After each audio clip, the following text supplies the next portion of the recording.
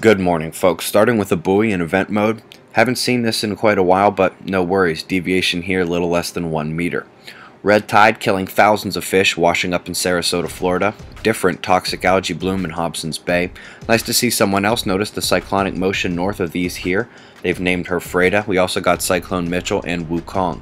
Wukong is weakly trudging through the South China Sea. Cyclone Freda is pounding the Solomon Islands and is beautifully developed here in the enhanced infrared.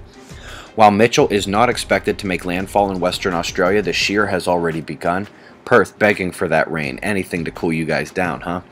So much wind-blown dust in Bulgaria that it is a genuine respiratory concern, caused by a tiny helical low that has broken away from the major low between the UK and Iceland. Here the cloud motion, the recent precipitation they brought so you can forecast ahead.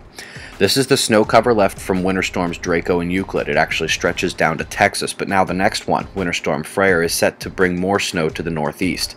The counterclockwise motion has Gulf and Atlantic moisture meeting dry cooler air and set to come down all weekend. Out west, you can see how that helical motion from the North Pacific low brings Pacific moisture to the northwest and up into Canada. Had a gamma burst last night from way down south in the Centaurus constellation. From the northern hemisphere, looking at sunrise, it will be due south. Well, let's say that you don't live up here, you live in Australia or New Zealand. Right now, southerners have Centaurus in the sky nearly all day and night. This area is the celestial axis, the southern one, the southern point around which the Earth's rotation spins our view of the sky. The north has one of these as well, we just uh, got to look the other way.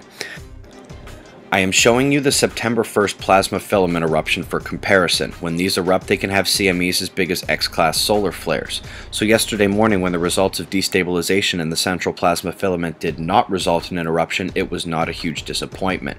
Looking closely, we see it dive back down into the sun and murky up the corona slightly, rather than ripping away and causing a solar tsunami and reconnection loops, those arcs of a hydro flare. Geo-effective space weather, the coronal hole stream has arrived, raising the speed and the density, but barely. This is truly a pathetic stream, to be honest. Speaking of pathetic, the sun seems to have forgotten solar maximum is nearby, at least for Earth-facing sunspots. They come, and even if they have magnetic complexity, they tend to crumble. To the right side, you will see the eruption here coming off the backside on SOHO. Just over the edge and turning away is that former triangular active region that caught stage fright last week facing Earth.